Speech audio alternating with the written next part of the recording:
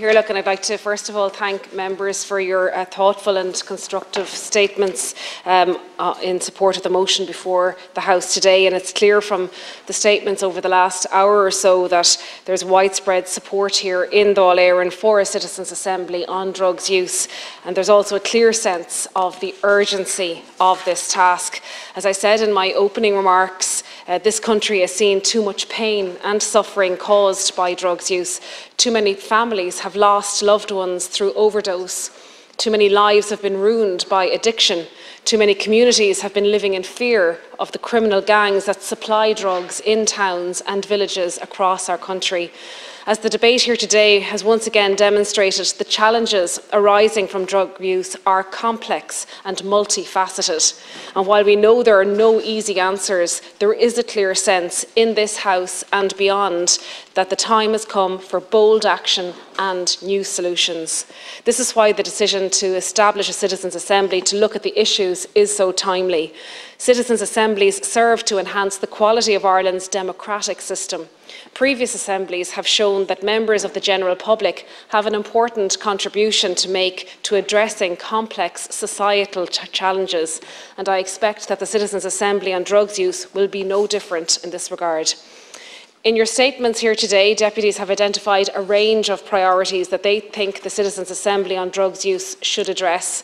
A number of motions have been tabled that seek to nuance the terms of reference or explicitly itemise various things that deputies believe the Citizens' Assembly should look at. And I fully appreciate the intent behind these proposed amendments every deputy who has spoken today has a keen interest in ensuring that the Citizens' Assembly does not overlook or neglect important issues.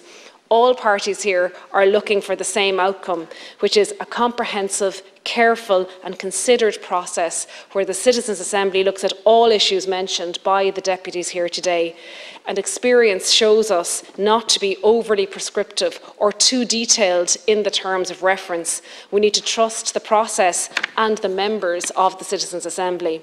Let us recall that Ireland's Citizens' Assembly model is regarded internationally as a leading exemplar of deliberative democracy in action. Citizens' Assemblies have become a valuable part of Ireland's democratic system. Recommendations from the Citizens' Assembly can have a considerable influence on changes to policy, legislation and even the Constitution. They also have a significant role in informing the wider public debate on important topics. Previous assemblies have made recommendations on topics such as marriage equality, repeal of the Eighth Amendment, gender equality, climate change and biodiversity. We must continue to learn from experience and build on what has worked successfully in the past. This principle applies in particular to the framing of the terms of reference.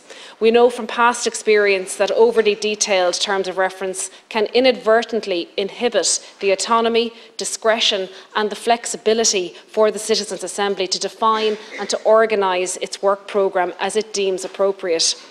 Past experience with citizens' assemblies have proven time and again that the Oireachtas can trust and indeed must trust both the process and the members of the Assembly. Uh, the importance of the voice of young people was raised here today, and I want to ensure uh, and reassure you that the voice of young people is heard at the Citizens' Assembly. And to this end, I've initiated a consultation with young people through Comhairle na nÓg and uh, youth drug projects across the country, which will be presented to the Citizens' Assembly for its consideration.